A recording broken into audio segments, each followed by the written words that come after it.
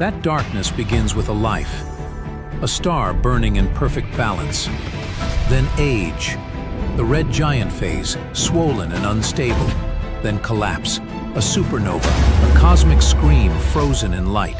What remains is a neutron star. Or, if gravity wins completely, a wound in space-time. A point where time slows, light bends, and meaning collapses. A place the universe knows by one name, black holes. Places where even light disappears. But he discovers they shine. In the vacuum, pairs of particles flicker into existence. One falls in, the other escapes, and the black hole loses mass, slowly, inevitably. Hawking radiation, light from nothing. He sees himself in it. If even a black hole shines, then nothing is ever truly lost. His body collapses, but his mind keeps shining.